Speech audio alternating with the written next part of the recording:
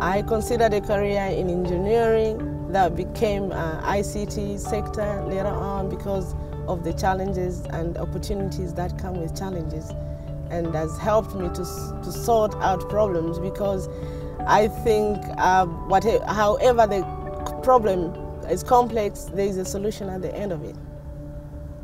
What inspires me in the ICT sector, those challenges that come with the dynamic, dynamism of the evolving industry.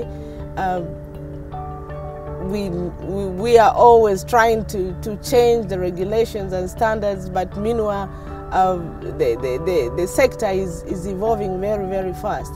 And in the end, we find solutions of how to go about that. I'm encouraging ladies and, and, and girls and women to take up ICT studies because we are uh, we've entered now in the digital economy and we need, really need a lot of help from ladies and women uh, with ICTs as we move on with the digital economy.